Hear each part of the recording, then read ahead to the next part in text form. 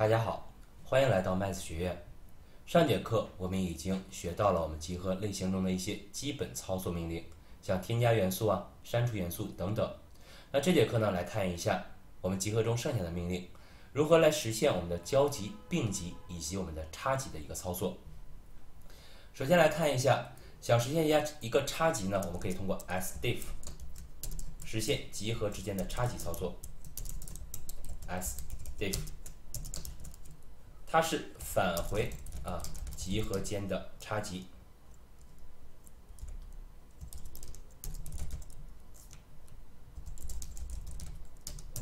语法呢来看一下啊，sdiff 第一个集合，第二个集合啊，你可以给多个集合都可以点点点这样的形式。那我们可以来试验一下差集。什么叫差集呢？就是我们的啊这个交集吧，对吧？啊，差集不是交集啊，差集是在第一个集合中，假如说我们拿两个集合为例，给大家画个图吧，啊，搞清楚。假如说这是第一个集合。这个集合中有这几个元素，有 A，有 B，有 C，有 D。接着这块再来一个集合，这个集合中呢也是有这么几个元素，有 B，有 C，有 D，有 E。那现在第一个集合和第二个集合，它们的交集是不是 B C D 啊？这是交集 B C D。那差集呢？如果你是先写的第一个集合，再写第二个集合，那只是在第一个集合中的元素不在第二个集合中里，那是不是会返回我们的 A 呀？对吧？这是以两个集合为例。同样的，如果你再有第三个集合，先算前两个，再和第三个去算做差集就可以。这是我们的这个集合的一个插集的做法。那其他的多个之间以此类推就可以了。好，我们可以来试验一下，来在这写一个例子。s add 一下啊，test set 一有 a 有 b 有 c 有 d，还有 e，咱们多来两个元素。接着再来添加一个 test set 二，接着呢有 b 有 c 有 d 有 e 有 f，两个集合。好，再来把第二个也进来。那这时候我们要写的，想看这两个集合之间的一个差集，sdiff test set 一，是不是把 set 一写到前面了，对吧？那在集合一中，不在集合二中有谁呀？是不是只有 a 呀？你看一下，这是两个集合的，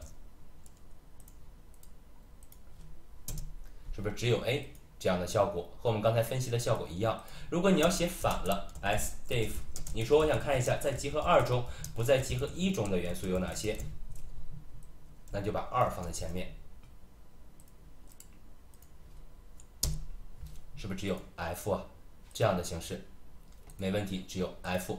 那如果说我们再来一个集合，三个集合也是一样，s add test set 三，接着 x y z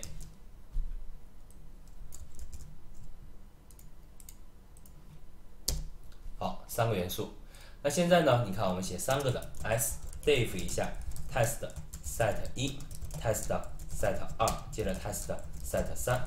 那首先呢是拿一和二做完之后，再和三做差集，都是这样，从左往右看你书写的一个顺序。那现在出现的结果应该还是我们的 a，还是 a 这样的效果。那接着如果这个 set 三中也有 a 的话，你来看它会返回一个什么样子？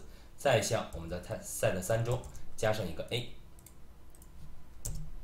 接着再来运行我们刚才的效果，这时候它返回的是一个空的，是不是没有差集呀？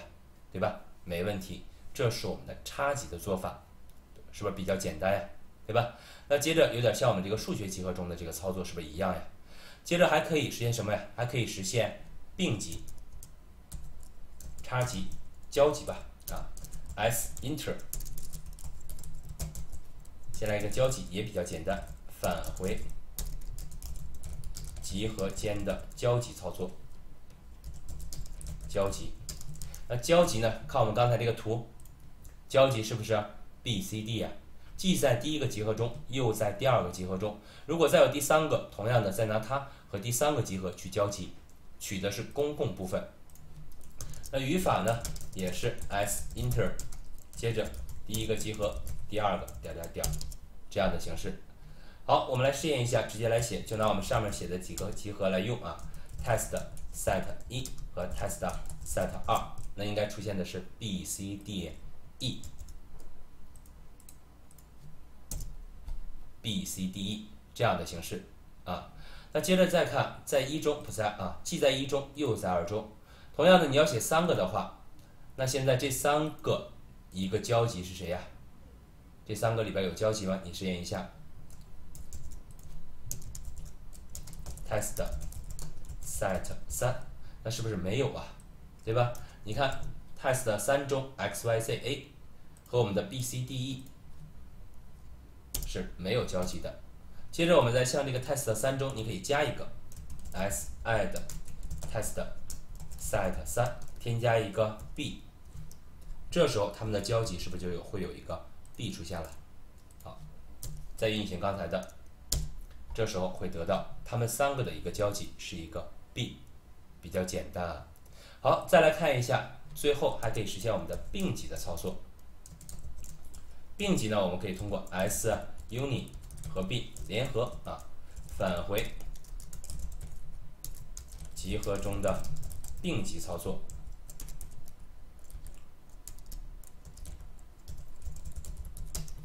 那这个呢，就是也是和我们数学中的是不是一样呀？就返回各个集合中的一个并集。那像我们这个效果，看这个图，a b c d 和 b c d 它们的并集是不是两个集合的一个和啊？那元素不重复的话，是不是应该是 a b c d 加上一个 e 这样的效果？语法呢也是语法 s uni，接着指定一下 key key 点点点，来试验一下 s uni test set 一 test set 二，这时候应该返回的是 a b c d e f 这样一个并集的操作。那同样的啊，你再把第三个也加上，又多了我们的 x y z test set 三，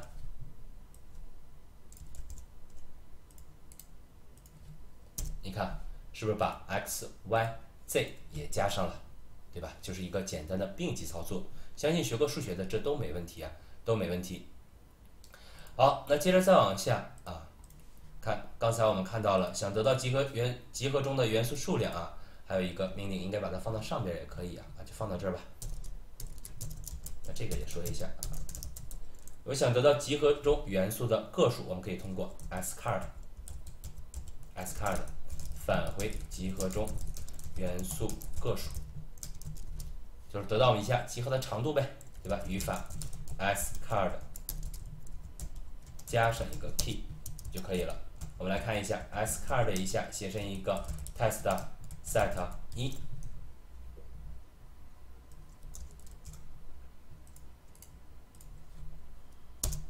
是不是一共五个呀？没问题。那你再写成一个不存在的，它返回的是一个零，这个集合不存在，返回的是一个零，比较简单啊，比较简单。接着再往下，和这三个差不多的。它只是返回回来了，返回这些集合操作一个结果，不管是交集也好，差集也好，并集也好，是不是只得到了这个结果呀？那现在我想把这个结果保存起来，你就可以通过这么几个命令，像我们的 s_diff 想保存，通过 stop 来把它存起来就可以。那这个命令呢，就是我们和 s_diff 唯一的区别就是它把这个结果保存到了你的指定集合中，啊，将。差集结果保存到指定啊集合中，这样的形式。那但是这里边呢，先看一下它的语法啊，语法 s_diff stop 保存到哪 destination，接着执行我们这个操作，差集的操作点点点这样的形式。但是需要注意，如果这个集合要是一个存在的。就是你的这个目标集合要是一个存在的，那这时候呢会产生一个覆盖，啊。那这个集合呢，也可以这个目标呢，也可以是一个 key 本身，就是我们这个集合某个集合的本身也可以。一会儿我们来试验一下，写成一下 s diff store i，把它保存到哪儿呢？保存一个啊 diff set diff set 做 test set 一 a t e s t set 二的一个并级操作啊差级操作。来看一下，首先我们这个 diff set 是不是不存在呀？对吧？那接着你来看，s diff store s t o r e，这写错了吧？t o r e，没问题，这儿写错了，写的 t r o e 了啊，t o r e store 存储，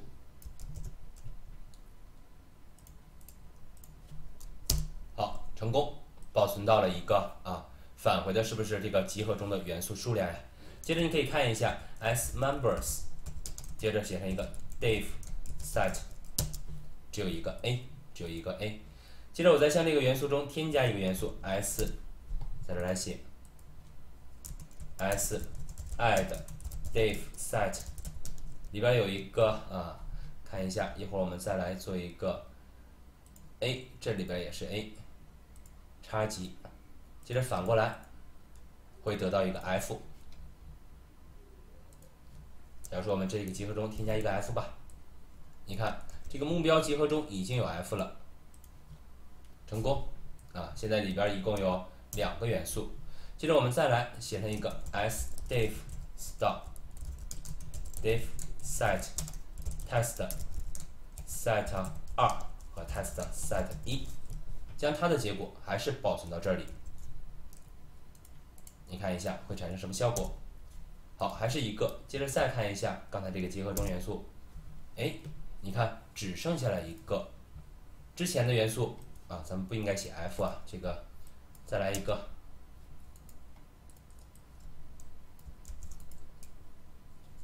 再运一下它就可以了。如果这个集合已经存在呢，它会产生一个覆盖的效果。好，接着看一下，是不是把这个集合给覆盖掉了？那接着把我计算的结果保存到了这个 diff set 中，这样的一个形式，啊，同样的你也可以把它保存到我们自己的这个已存在的这个集合，保存到哪儿呢？就保存到我们的 test set 一。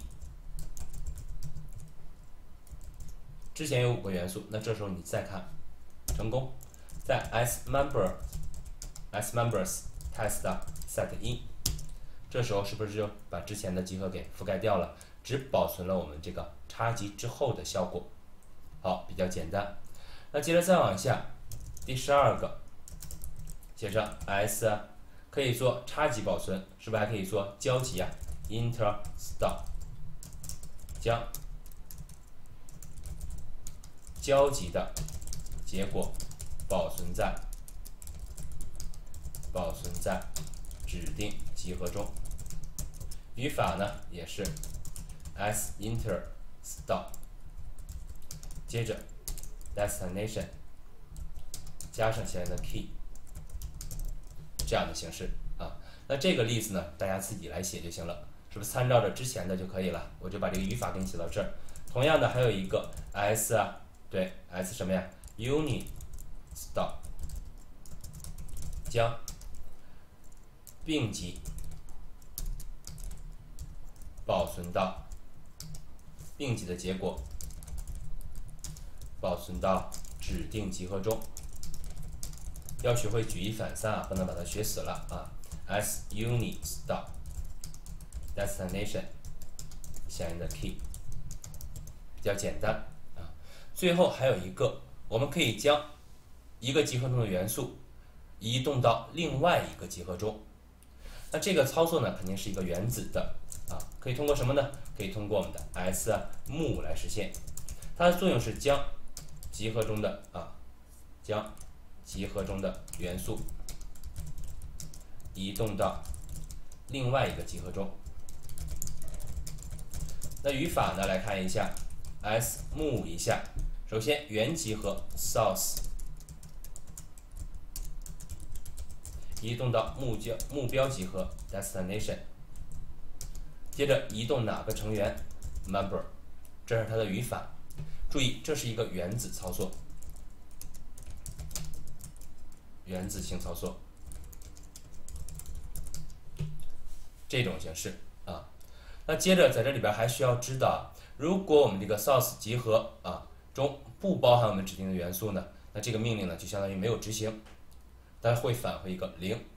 那否则呢，它就会把这个元素从这个原本的这个集合中删掉，接着再添加到我们的目标集合中。好，那接着再看，如果目标集合中已经包含了这个元素的时候呢，这个呢，smove 这个命令呢，只是相当于把我们这个原来这个 source 里边的这个元素给删掉了，就是这样一个效果。那如果说元素被成功移除呢，返回的是一啊，这时候我们来看一下，做一个例子，先看一下 s test 一 s member test set 一，这里边只有一个啊。接着再看一下 test 二，是不是一共有五个呀？对吧？那接着再看一下，我现在想把二中的这个 e 移动到 a 中，可不可以？s move 一下 test set 二，移动到 test set 一中，移动哪个成员呢？移动一下这个 f 成员，那这个成员是有的。其实你可以先判断一下是否存在。好，成功了。成功之后再看一下刚才这个。是不是少了一个呀？接着再看一下一，是不是多了一个这样的形式？那同样的，如果你再运行一下刚才这个效果，它返回的是什么？零，因为这个集合中 test 二这个集合中已经没有这个 f 元素了啊，所以说返回的是一个零这样的效果。那接着我再向 test 二中再添加回来，s add test set 二，接着添加一个元素 f 是。不是又有了？接着 s members test set 二，你看到有了。接着，如果你再执行刚才这个命令，那这时候我们的 test set 一中是不是已经包含了这个 f 元素了？那就相当于简单的把这个 f 从我们的第二个集合中删掉，就是这样一个效果。好，成功。接着看一下第二个成员中的元素少了，再看一下一中本来就有啊，所以说还是这两个。就是一个简单的删除。好，这个 smove 这个命令呢也比较好用。那到此为止呢，和集合和我们的无序集合相关的这些命令已经全部带着大家过了一遍啊。那接着下来之后，大家把这几个像交集、差集、并集，包括移动元素这几个，好好的练一下。那下节课呢，我们把最后的一个有序集合把它说完，那我们的这个类型以及常用的这些命令就已经完事儿了。